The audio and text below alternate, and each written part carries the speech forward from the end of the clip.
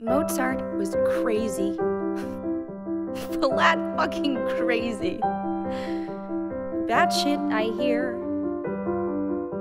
But his music's not crazy. It's balanced, it's nimble, it's crystalline clear. There's harmony, logic. You listen to these. You don't hear his doubts or his debts or disease. You scroll through the score,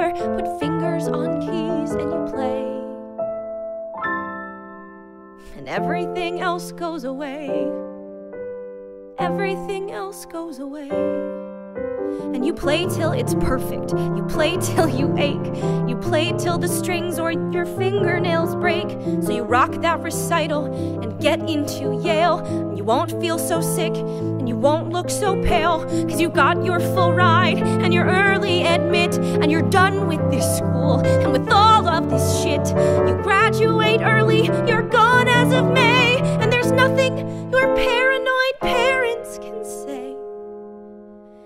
know that it's just a sonata away, and you play,